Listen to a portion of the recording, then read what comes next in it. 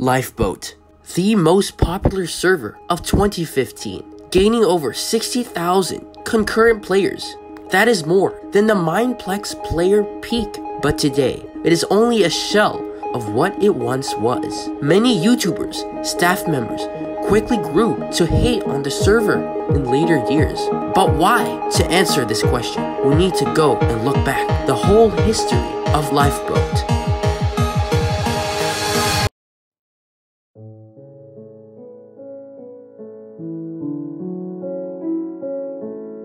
The two founders of the server was William TDR and Ethan, aka TNT Lover Lol. They showcased the server for the very first time on March 2013. Hello, this is a demonstration video for is our um, survival game server for population based off the Minecraft PvP um, server. The server was running on Ethan's computer. It wasn't until six days later when it would be released to the public for a beta test. Lifeboat during this time had no lobby, no signs to join. There weren't even chests to get. You had to make your own weapons and armor. And since there was no signs, you had to join Lifeboat Server A, Lifeboat Server B, Server server C, server D, etc. with different IP addresses. It wasn't until later when they added a glass box above the arena with chests in the middle. You know, the usual thing. It was also during this time when the emergence of hackers began to terrorize the server, laying the foundations of the server's fate in upcoming years. On June 6, 2013, the release of Minecraft 0.7.0 added realms, a new way to enter a server. Before, you can only join if you either have an Android or a jailbroken phone using Terminal. But now, with the help of Pocket Mine Realms, joining servers has become much easier. How it works is that you need to download Pocket Mine profile. Now, Pocket Mine can modify the realms so that you can play without payment. Put in the IP address, and boom, server list. Lifeboat slowly grew as not much people knew servers for Pocket Edition, so it was spread by mouth. During this time, Lifeboat got its first lobby. It was a floating sandstone island with a fountain in the middle. It was small and simple, but it's a start. On update 0.7.4, Minecraft finally added external servers option, which means there is no difficulty in joining a server at last. Lifeboat updated their lobby again into a gigantic indoor building with huge sign, which would later be an inspiration for a huge lobby later on.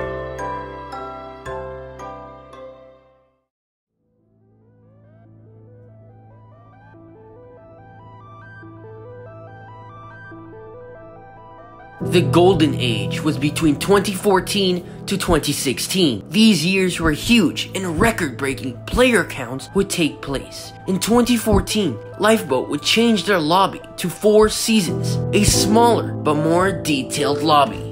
A lot of known YouTubers during this time started to play the server. YouTubers such as Jack Frost Miner, I Can Fly Jake, and nexypl boosted the server's reputation even outside of Pocket Edition. In 2015, the server again changed into its most iconic lobby of all time, Massive Lobby. This lobby was the most famous lobby most people know, which added secret rooms. Lifeboat had the best experience at the time compared to other servers, and it was no longer just a server to play, but a place to hang out, meet new friends, even find girlfriends. There was even clubs in the secret rooms and parties people would roleplay and do. The lobby would even have more players than survival games itself. Lifeboat set the world record for most players in a Minecraft server. Lifeboat was on top of the world and nothing could go wrong, right? But it did. In late 2015, Lifeboat lost their owner William TDR. Every update up to this point, every lobby, system, even how the staff were hired was by William. His co-owner, TNT Lover Lol, left during the early days, so William was the last one left. He quit to reach his dreams. He gave his server to his dad, Rain TDR. This decision would be Lifeboat's downfall as Rain didn't care much about the server or its players. He didn't form it out of his own hands like William had. No, he only wanted one thing, and that was money. And just like that, the Hydreon Corporation was born, taking full force on the server. The lobby would change into Lifeboat Paradise, the first lobby under Hydreon's control. The change was slow, and many of the player base didn't even know about the new ownership or didn't care.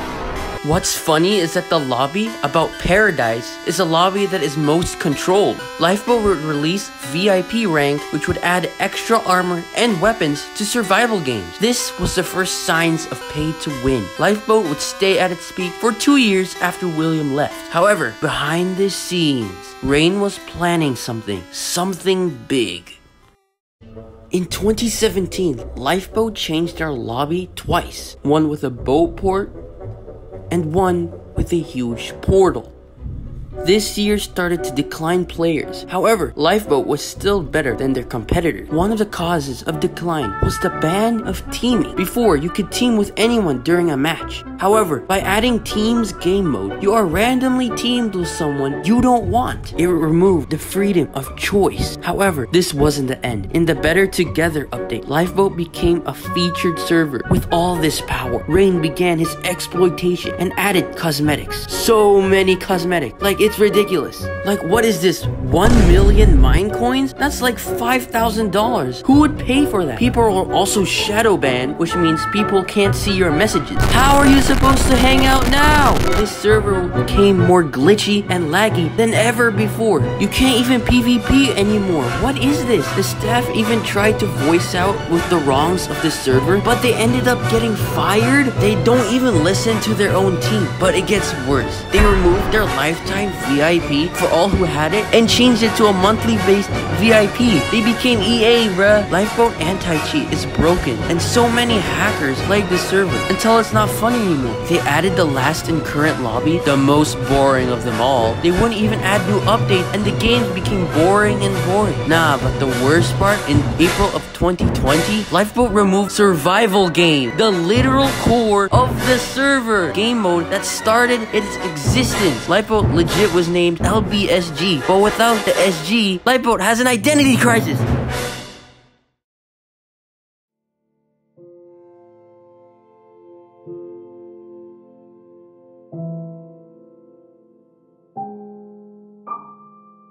In the end, whose fault is it? We could point fingers all day, but we can't deny that Lifeboat, as we know and love, is gone. It has become worse for us and worse for Hydreon. We have to realize that Lifeboat isn't the same anymore, and we have to move on. However, that doesn't mean Lifeboat was always bad.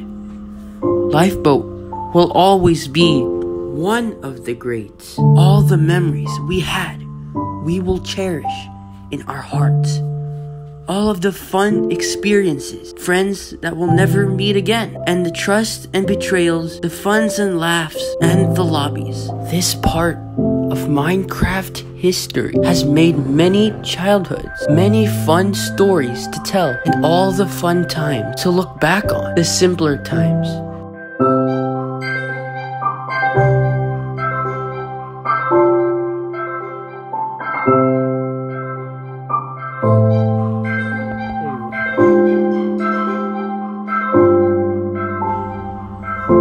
And that is the full history of Lifeboat.